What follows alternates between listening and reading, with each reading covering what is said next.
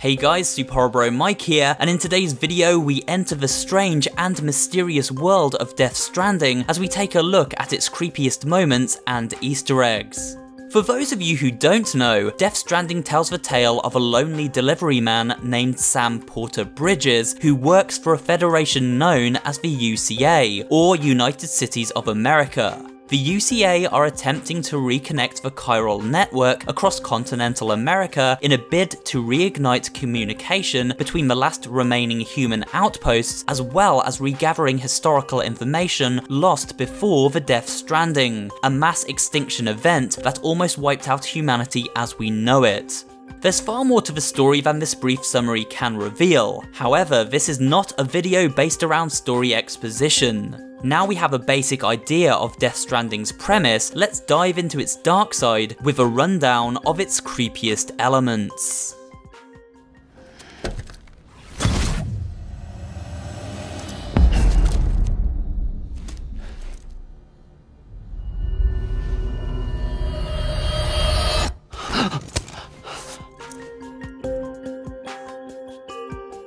Bridge babies, or BBs as they are more commonly referred to, are seemingly cute and innocent on the surface, but contain a chilling backstory. These children who never age and live within a portable pod strapped to the chest of a porter allow the carrier to sense the impending danger of BTs around the game world.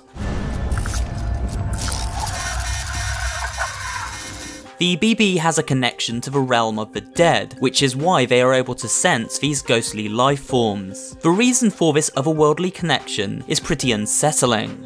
You see, a BB is an unborn child taken from the womb of its still mother, women who remain in a coma-like state and are kept alive via life support.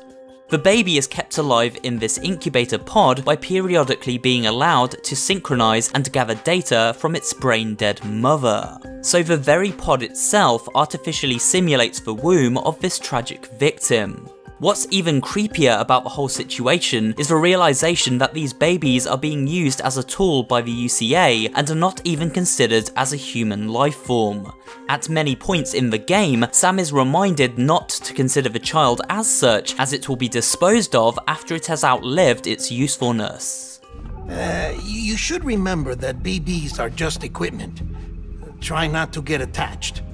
There are a handful of spooky easter eggs surrounding Sam's BB2. While resting in a private room, players can check up on their BB while it synchronizes with its still mother in the incubator on the wall. Most of the time doing this simply triggers an affectionate animation between Sam and his bridge baby. However, very occasionally, you may encounter a more nightmarish vision. Here are a few examples.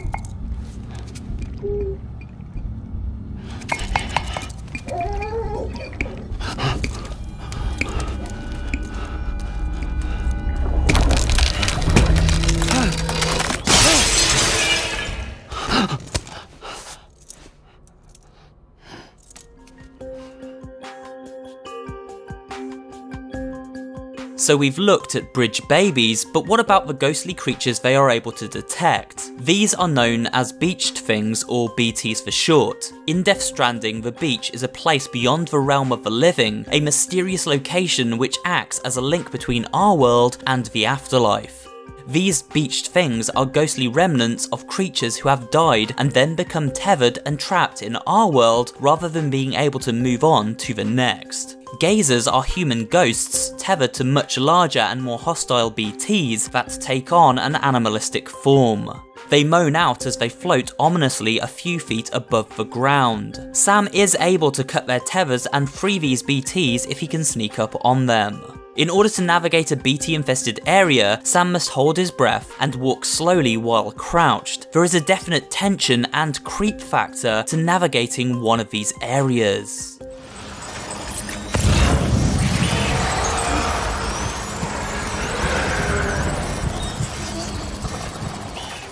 If Sam is spotted, then handprints of a larger creature begin to form in the ground around him, and if this unseen entity catches the player, a tar-like substance rises from the earth, and a mass of inky humanoid figures reach up to drag us down.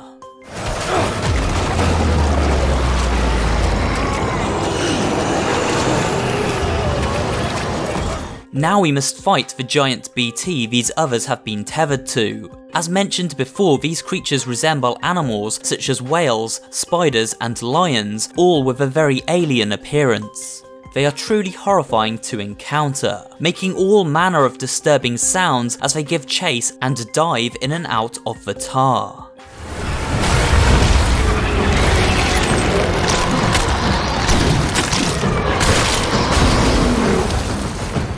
Entire sunken cities rise up from this strange liquid too. It's pretty scary seeing long forgotten ghost towns rising from the earth out of nowhere, especially with these BTs hunting us down within them.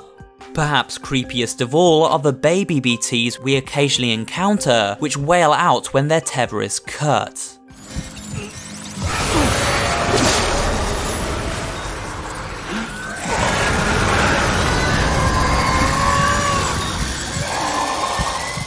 One of Death Stranding's creepiest encounters is a non-hostile one involving a baby BT. There is a character known as Mama who has a tragic backstory. While Mama was pregnant, a building collapsed around her and caused her to become trapped for weeks on end under the rubble. She survived, but her baby did not. It now lives on as a BT tethered around her own body, and this means she can never leave a lab where the incident happened, or both parties would die. It's a creepy sight seeing this grieving mother still nurturing the ghost of her dead child.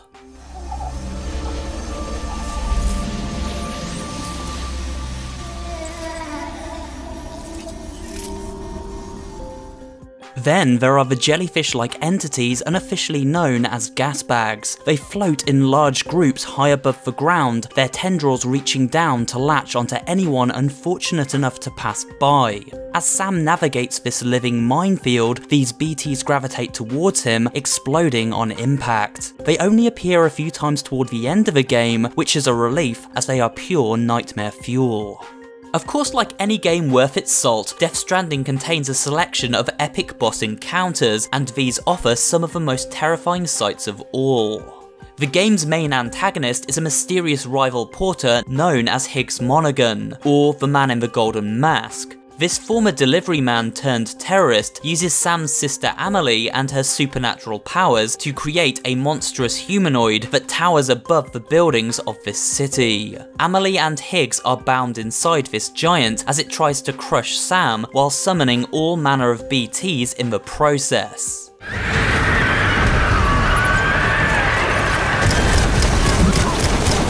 Eventually, its form changes from that of Amelie to something truly unsettling as its head morphs into an enormous clawed hand. Near the end of the game, Sam faces off against an equally disturbing monstrosity, this giant whale-like BT which floats through the sky and plunges in and out of the tar as Sam attempts to stay afloat. Finally, there is a creepy BT related easter egg unlockable while resting up in Sam's private room. This is triggered if we focus our attention on Sam's feet for a prolonged period of time. Check it out.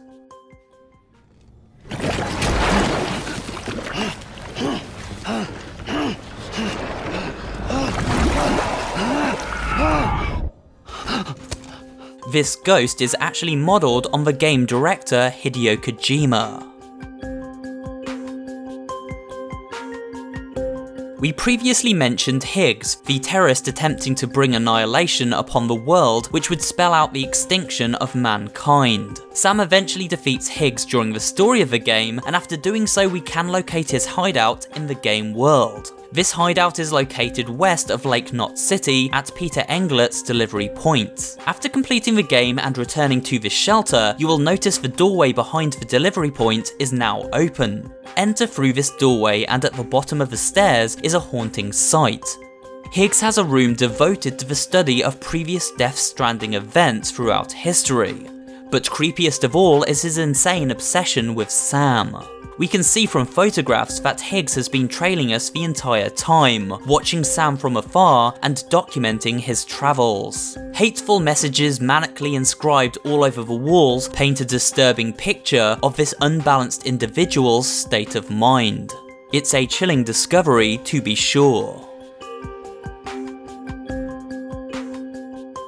Sam looks like a pretty regular guy on the outside, but as soon as he undresses to take a shower, we see a horrifying sight. Sam's body is covered in handprints, but why? The reason for this is due to a condition Sam suffers from, which causes his skin to bruise and scar when touched. What makes this sight all the more haunting is the realization that these handprints come from the many times Sam has been grabbed by various BT entities around the world as they attempted to drag him down into the sludge they emerge from. These are daily reminders of the ghosts he has encountered throughout his journey. During Sam's adventure, he transports a number of items, from medical supplies to food and clothing, all in the name of rebuilding America and aiding its remaining inhabitants. However, on occasion we are tasked with a slightly darker and more sinister form of delivery. There are moments where Sam needs to transport actual humans on his back, either bodies that need taking to a nearby incinerator for disposal, or those who need transporting safely to other settlements. Because of Timefall, a deadly form of rain that instantly ages and degrades anything it touches, Sam must wrap these bodies up in cocoon-like bags and then strap them to his back. There's something chilling about seeing a body wrapped up in this way and then carried around like a package. Of course, this process is creepiest of all when the person is no longer alive and Sam is simply lugging a corpse around on his back. Without doubt, one of Death Stranding's creepiest characters and environments come in the form of Clifford Unger's combat veteran, and the alternate war-torn nightmare dimension he inhabits.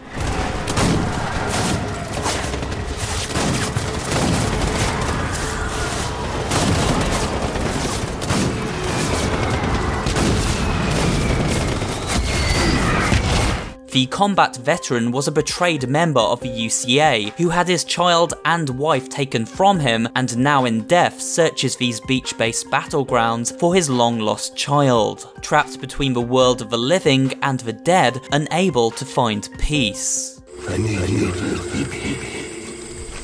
Where's my baby? He summons creepy looking dolls which detect the player's location, and tethered to him is an undead army of skeletal soldiers.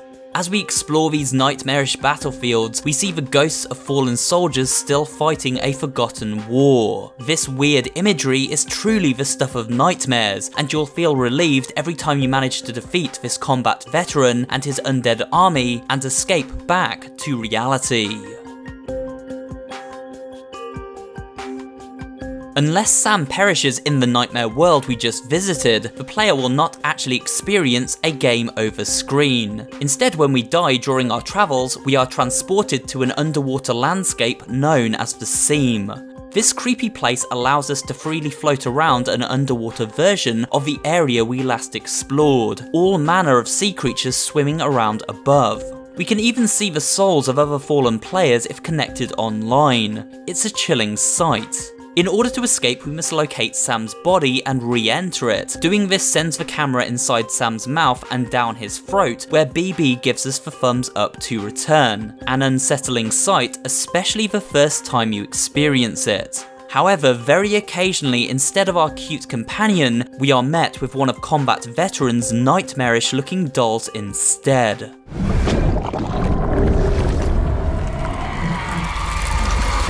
And with that, we reach the end of this look at Death Stranding's creepiest moments and Easter eggs. If you enjoyed this video, remember to like, comment, and subscribe for more horror related content, and I will see you on the next video.